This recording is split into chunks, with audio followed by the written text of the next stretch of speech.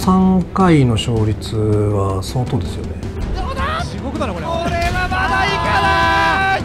乃木スタブが当たる。あー乃木画面端勝ったのは小高少年予想以上に強いかったなっていうことがまず一つ、まあ、倉橋頑張ったんだけど最前線現役っていうわけではなかったから、うん、やっぱりそんな甘いもんじゃないんだな。これってプロレスじゃないんで負けられないって言ってたんですけどこっちの方が負けられないんでこのゲームのガイルってまだまだ自分できないことの方がすごいあるんですよ。X のガイルの獣道はまだまだ長いんで、まあ、やり続けていきたいと思います。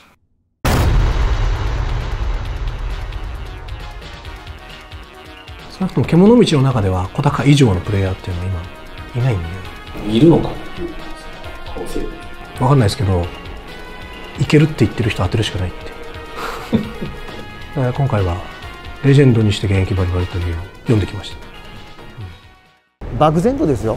負ける気がしないなっていう。さあ正面からいった。ねこのゆうべがさんのこの嗅覚、ね、嗅覚ですね。超攻撃的なんですよプレースタイルは、うん、とにかく強かった。俺が印象はマジで強いなっていう。兄犬戦を見て正直ショックだったんですよこれはちょっと敵を取らなきゃいけないかなと。同じ同郷としてね。そういう意味ではあの気合入ってます。はっきり言えばスト2しかできないんですよ。飯倉さんは体で覚える系。ただその試合数が異常なんで。僕知り合って22年ぐらいなんですけどずっとスト2のモチベが高い僕が結構大会とかあんまり好きじゃなくて出ないって言ってた時に小村さんそれ大会出なあかんよと。国民の四大義務やでと。アホでしょ。一つ歴はそうですね15の時からやってますから30年ですかね約。対戦するんですけど全く勝てなかったですね。十何年前なんであれからもずっと体に覚え込ませ続けてるってことだとひどいことになってるんじゃないかなと思いますけどねこの時期は特にやってたけどこの時期ちょっとしばらくお休みとか。いやいや休まない休まない。もう毎日。毎日やってますよもう。毎日。今が一番強いですもちろん。はい、はい、もちろんえー、一番強いです今は。はい。いやもうあの強いと思いますよ。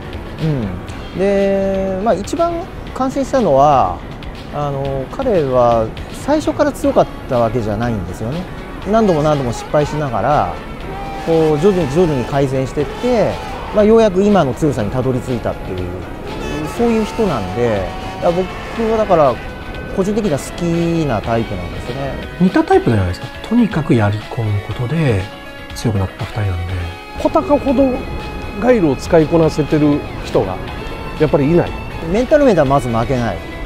自信はあります試合が始まるまでにどれだけ相手のことを知り尽くして研究して攻略できるかじゃないですかね、うん、ずっと昔から知ってますから彼のことを、えー、今の小高のイメージしか皆さん知らないでしょ？で僕が初めて会った時はもっとね礼儀正しくてなんか謙虚でねいい子だったんですよ。あれさん小高初めてですよね。初めてです。あのこちらどうぞ。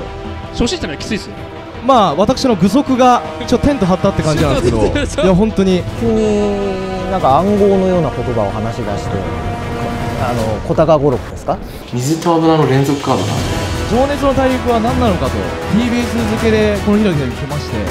なんかコミュニケーションが難しくなりましたね。31なんですけど誕生日もうなくなったんで。すかえ途中からですよ、ええ、あの本当にいい子だったんですよ。で未来英語クラシ社会説法もさらに社会説法。ただねあれが彼の自信の裏返しだと思うんですよね。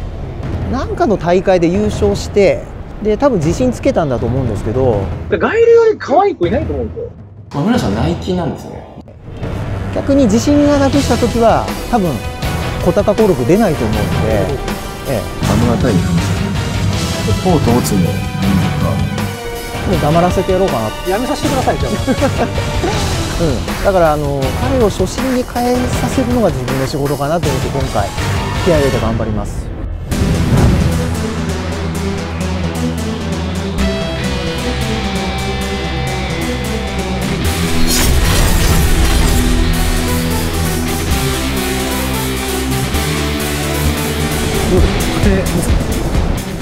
あまあ勝てますかっていうかまあ勝ちますよ。